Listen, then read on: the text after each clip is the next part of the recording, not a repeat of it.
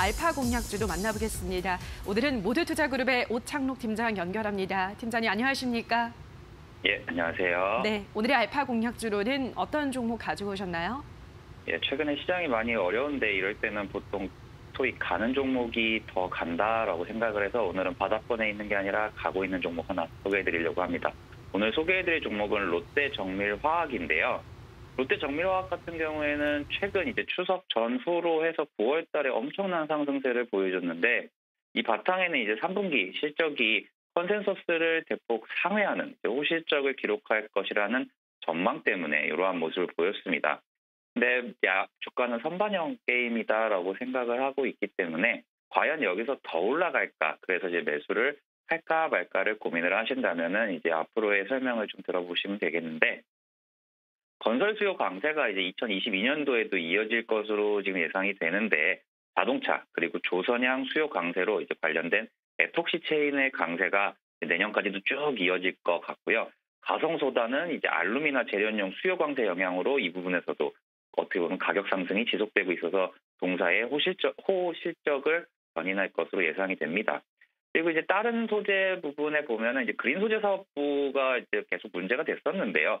수익성이 이제 증설 효과가 이제 일부 원재료 가격 상승분 전가로 이제 전분기 대비해서는 조금 실적이 개선되었는데요. 당초 우려되었던 이제 요 사업 실적이 이제 원재료 가격 상승과 운임 상승에도 불구하고 이제 우호적인 환율과 이제 가동률이 개선되면서 어 동사 수익 수익에 어느 정도 이제 손실폭을 조금 조금씩 줄이면서 이제 동사의 실적 전망치를 상향하는데 조금 더 힘을 좀 더 보탰습니다. 그리고 이제 내년 내후년까지 본다면은 이제 동사의 이제 수소 산업을 조금 살펴봐야겠는데요. 동사 같은 경우는 이제 암모니아와 관련된 사업을 좀 영위를 하고 있습니다. 그래서 이제 2024년부터 이제 본격적으로 크게 이제 이루어질 것으로 보이는데요. 어, 동사는 이제 중개, 무역, 물량을 계속해서 지금 태광산업 그리고 LG화학과 LG화학의 증설 이후에 이제 이 부분들과 계속해서 지금 조인트 협업을 하고 있고요.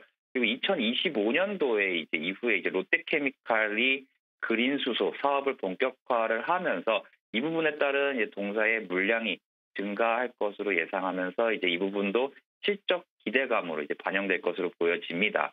그래서 이 모든 내용을 종합을 해보면은 어, 동사 이제 원재료 가격이 안정화가 되면 될수록 수익성 개선이 조금 더 빠르게 올 것이고요.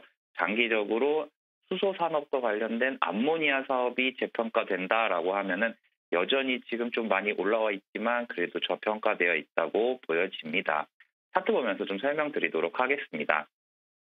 지금 보시면 거의 지금 8월 말부터 지금 현재까지 거의 60% 가까이 좀 저점 대비 상승하는 모습을 보여줬는데요. 어, 오늘 일단 6% 가까이 좀 조정이 나오면서 어제 상승분을 거의 다 되돌리고 있습니다. 오늘 시장 자체가 뭐 초반에는 빠졌지만 지금 결국은 플러스 돌아선 것을 어떻게 감안한다 그러면은 이 종목이 오늘 좀 과도하게 눌린다라고 보여지고요. 그래서 이제 이 종목 같은 경우에는 충분히 아까 설명드렸던 부분까지 살펴본다면은 가는 말이 한 번 더 갈 수도 있다라고 생각이 되고 있기 때문에 오늘 내려온 가격대에서 매수하시면 좀 좋지 않을까 생각이 듭니다. 가격 전략 말씀드리면 매수가는 현재가, 목표가는 13만 원, 그리고 손절가는 8만 5천 원 제시해 드리면서 오늘 마무리하도록 하겠습니다. 네, 오늘의 알파 공약주로는 롯데정밀화학 소개해 주셨습니다. 오늘은 오창록 팀장과 함께했습니다. 팀장님 고맙습니다. 네, 감사합니다.